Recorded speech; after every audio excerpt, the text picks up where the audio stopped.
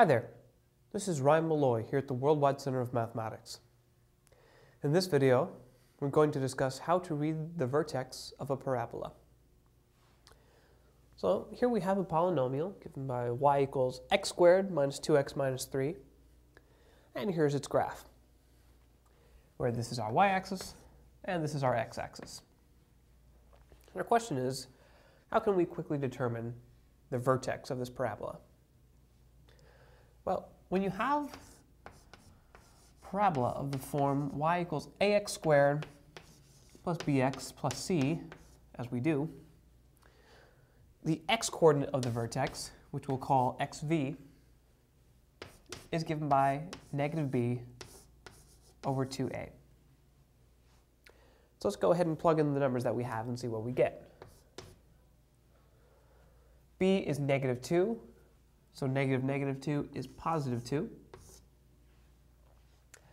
a is 1, so 2a is equal to 2.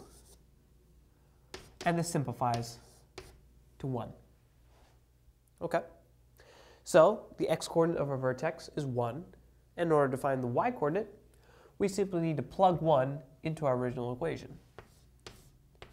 So yv is equal to 1 squared minus 2 times 1 minus 3,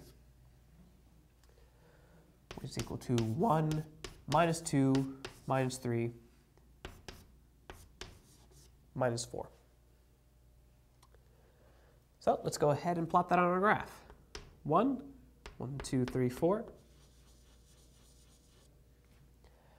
There's our vertex. It's just that simple.